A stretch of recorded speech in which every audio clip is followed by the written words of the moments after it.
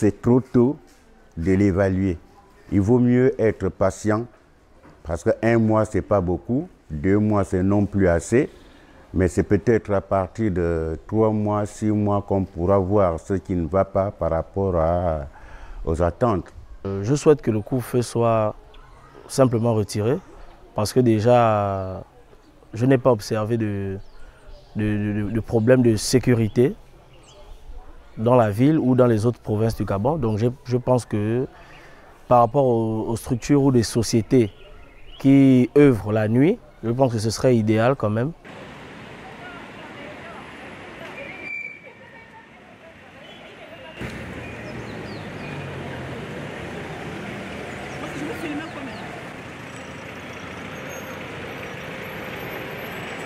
Pendant son discours, il avait parlé d'eau, que tous les Gabonais doivent avoir de l'eau, doivent être alimentés. Nous, précisément dans le quartier Mélène ici, nous avons des tuyaux placés, mais jusque-là, on n'a pas encore de l'eau.